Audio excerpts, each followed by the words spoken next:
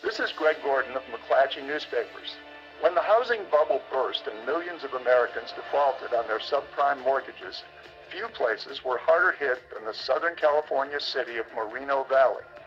As many as half the residents of this neighborhood lost their 300,000 to $400,000 homes in foreclosures or in sales for less than their mortgage balances. It's no longer a secret that Wall Street made a big contribution to millions of loan defaults that crashed the U.S. and global economies. Big investment banks created a $2 trillion market for risky mortgages, converted them to high-yield bonds, and then sold them off for handsome fees.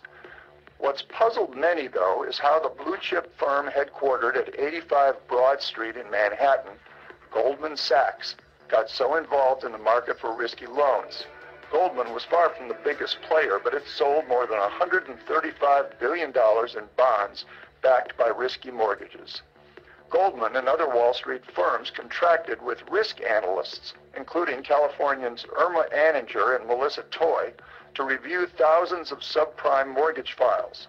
Anninger said she was stunned as she saw from loan applications how much credit standards had deteriorated from 2004 through 2006 a gardener making ten thousand a month, a checker at Walmart making five thousand a month.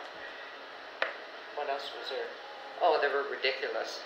Anninger and Toy said they appealed to their superiors to reject shaky loans in which lenders had required no verification. At times I didn't understand why we were even working because they were overriding our decisions or if we question anything. Um, if we tried to decline a loan, they were going beyond us and approving them. The whole thing didn't make any sense to me. That's why I said earlier I didn't even know why I was there because the stuff was going to get pushed through anyway. Yet of all the Wall Street firms, Goldman was the only one that seemed to anticipate trouble ahead and safely exited the subprime market.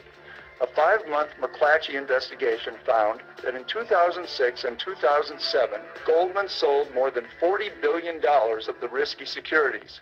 At the same time, Goldman was secretly betting that the housing market would drop sharply and send the values of the securities it sold plummeting.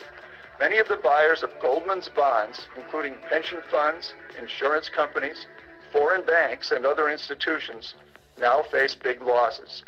A spokesman for Goldman says it had no obligation to disclose its secret bets to its investors. But some securities experts say the Wall Street colossus may have violated federal disclosure laws. Greg Gordon for McClatchy Newspapers.